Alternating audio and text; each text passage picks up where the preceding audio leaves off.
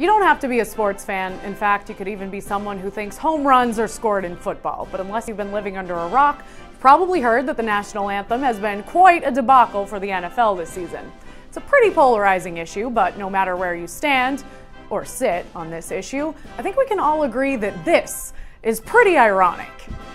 This bleeping guy cares enough about standing for the Star Spangled Banner that he's advertising it on his t shirt.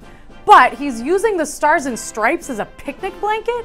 Come on, bro, there are do's and don'ts when it comes to respecting Old Glory, and I'm not expecting you to know them all, but never let the flag touch the ground is pretty basic.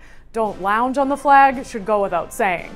Now, I'm not saying typical Jets fan, I'm just saying Patriots fans might be saying typical Jets fan.